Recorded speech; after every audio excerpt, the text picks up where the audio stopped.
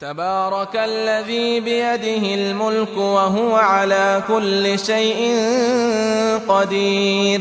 الذي خلق الموت والحياة ليبلوكم أيكم أحسن عملا وهو العزيز الغفور. الذي خلق سبع سماوات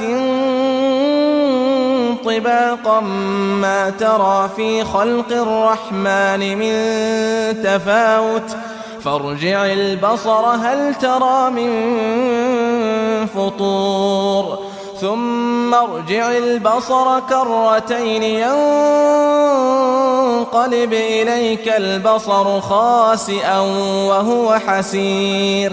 ولقد زينا السماء